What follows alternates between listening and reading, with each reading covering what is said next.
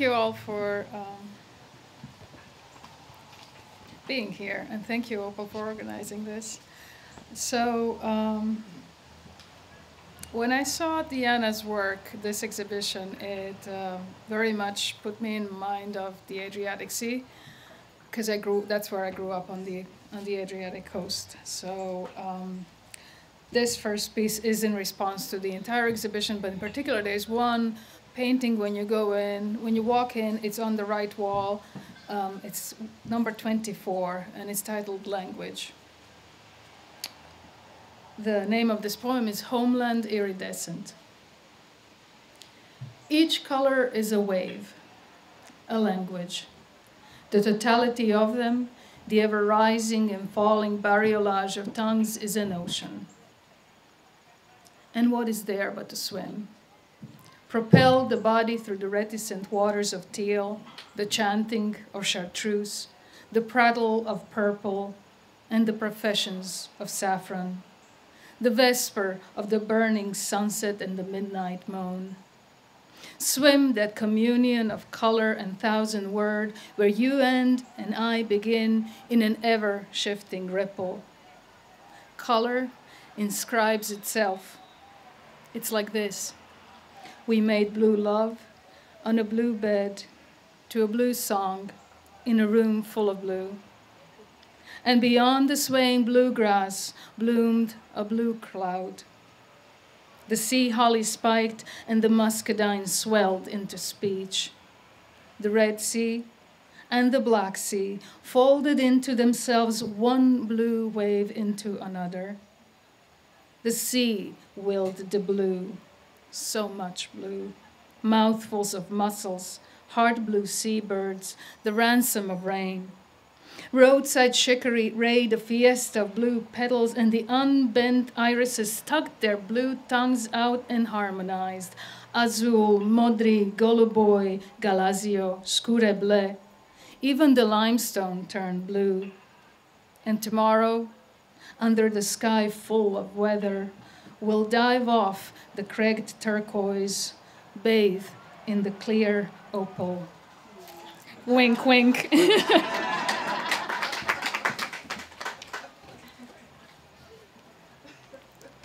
I know, this was really subtle. That's what poets do.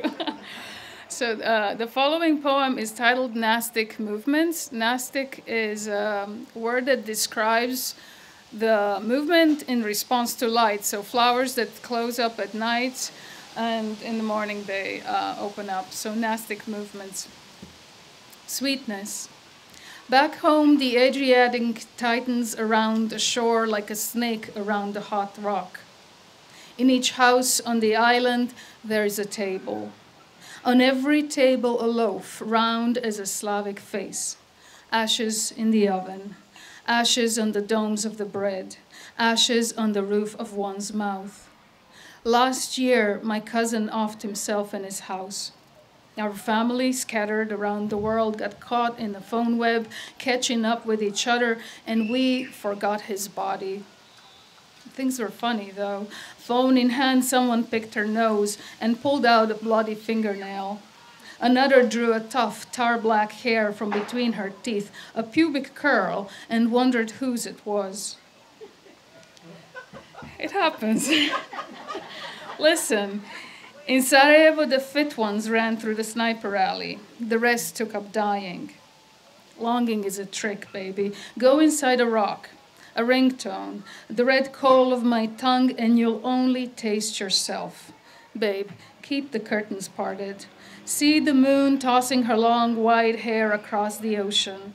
Hear its steady back arcing roar. Look at the chenille strip of black sand, that fool walking with a flashlight. Listen to the ocean, and you'll come apart like a love letter in rain. Babe, even dandelions lose their heads at night. Um, the next poem was written in response to my um, in response to a memory that I had as a kid, um, I grew up in Yugoslavia, so we basically we were poor. We, we can call it communist socialist, but translated into just like basic living. And the way that at one point I sort of felt the reality of it was the candy was really basic. And I had some friends whose dads worked as guest workers in Germany. We thought they were really um, privileged to be working abroad, and those kids had uh, much fancier candy, and usually it was colorful and it smelled good, and we were stuck with just these like basic white chewing sticks gums, and so but we figured out a way to make our chewing gum more um, exciting, which was to bite off the tips of the coloring pencils. And to make the chewing gum whatever color you wanted it to be, right? and just pretend like you've got a daddy that works in, I don't know, somewhere in Dortmund or whatever.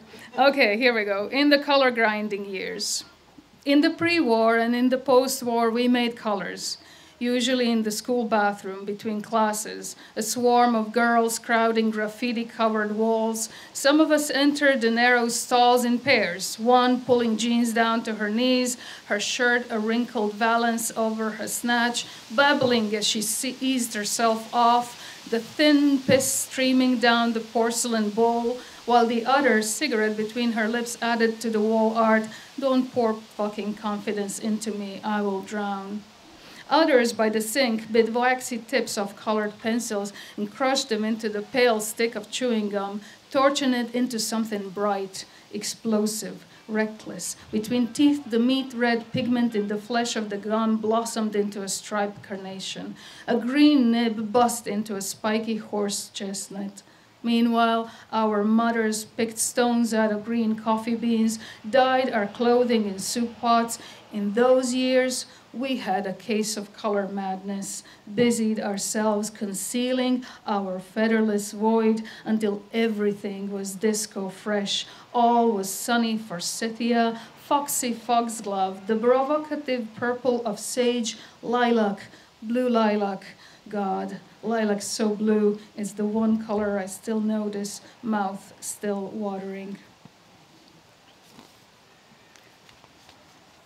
Black daisies this one's got an epigraph uh, by the famous poem by Charles Baudelaire, It's Time to Get Drunk. Black Daisies. We are inside the barrel of a heat wave, my abstinent American and I. The earth, the sky, the strange Nevada sun blazing in between. A tattooed river courses up his pale force forearm, and a mustached koi threads upstream, the fish rendered separate from its world. Across the table, Hopeless Jack slings ice cubes down the canyon of his mouth, crushes them with a metallic tang, says, I've been sober for over a decade and I still can't sit still. The roof vent exhales a steamy breath.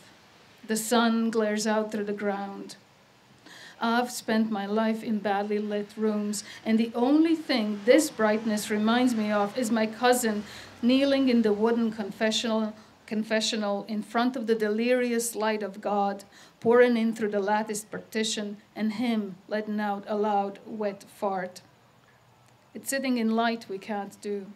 The heat is just a bitter oleander, desert thrift a clod of dirt you're starting to feel like, and there is nothing you can do about it but wish for a spit of rain.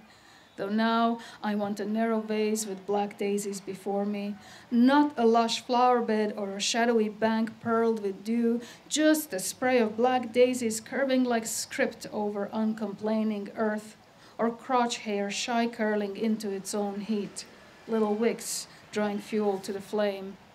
I want to wet, light absorbing language, a crawling, heat converting argot, and I want to drink it like liquor. Two more poems. Um, this one's called Wild Wasting, and it was written also in um, for Arts Beacon. Uh, what Opal mentioned. Uh, this was, I think, last year. Um, wild wasting. So this was, in other words, why I'm mentioning this, this was written in the thick of the pandemic and sort of spending more time by ourselves than usual. Silence is a girl silenced. Sometimes she is a boy with a clean face. it's a glass of clear water, and that which the river took. Silence is the man at his piano wondering why the soldier's song doesn't sound that sonorous on his instrument. Is the pen in my hand? Almost. Snapdragons wilting in the vase. Room refuted by night. I dip my pen into the wet eye of the dark and take away its quiet. We tear silence out of dawn's ripped silk, black silk, silk with slippery cries of love. In the newspaper is Sunday. The city wears its favorite weather. In the mirror, our memory, mouth, magnificence of sex. Silence is no absence. It is a man who left with a tail between his legs, and in that departure remain. Oh, raise your glass to the still syllable. Cheers. Chin chin. Nazdravlje. Sláinte. Salute.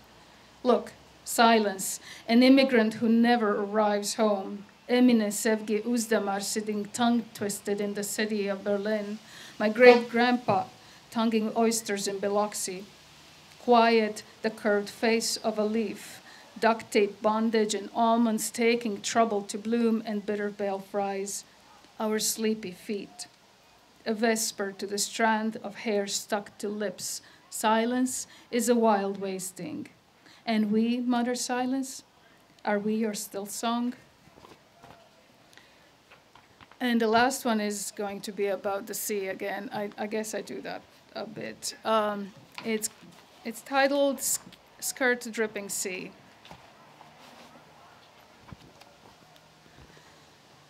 The sky, has, the sky has been curdling for days. The slow bloom of pale tumors drifting against the oily lid of slate gray. Smoke tusks coil from burning leaf piles, and in treetops, unfurled black wigs, shallow nests gape emptied of sunlight. The earth, smells of way in others. There is no dust in winter, no weeping. Fish don't bark from tangled, slippery nets.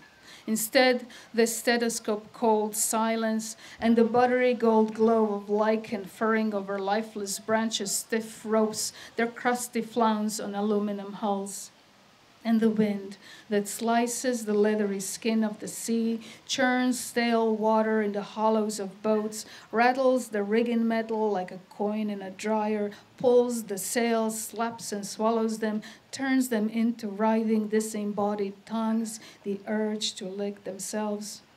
This wind, its breath of sibilance and smoke, crass phosphorus and bitter salt, of muck and smothered bark and tired sailcloth. It wanders in through the door that's been left ajar, grazes the wet skirt hanging on the wooden chair, the worries that gathered in its folds, and nudges your sex that is a flightless bird in a fallen nest.